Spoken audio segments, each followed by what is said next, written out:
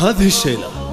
إهداء من حنان أم شيخة مهداة إلى المهندسة شيخة سالم العطوي المتخرجة من جامعة الأمير فهد بن سلطان.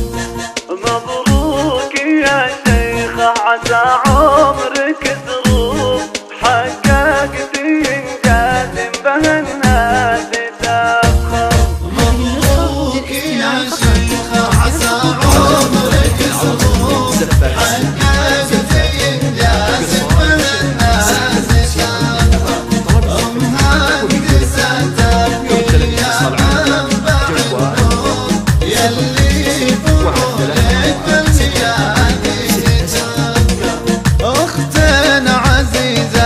قدرها